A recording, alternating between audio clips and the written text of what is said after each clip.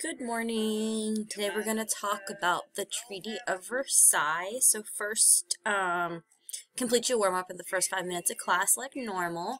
And then instead of an activity today, we're going to do the Treaty of Versailles Edpuzzle. So if you click on that link, um, your period will be listed here.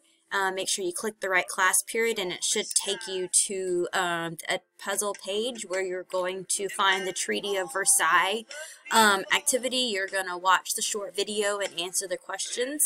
And then you're going to go back to the folder for 4.2 and take the Treaty of Versailles reading check that goes with that. Um, happy learning. Um, make sure that, um, as you know, Fridays um, a catch-up day. We're not going to be assigning any new work on Friday. So make sure that you get anything um, that needs to be turned in. If I need to open anything so you can submit it, please let me know. Um, all these little points are going to count in the end. So happy learning.